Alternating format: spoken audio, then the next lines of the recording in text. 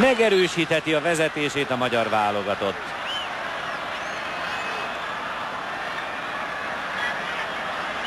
Sebők tehát a túlórában, Sebők, gól!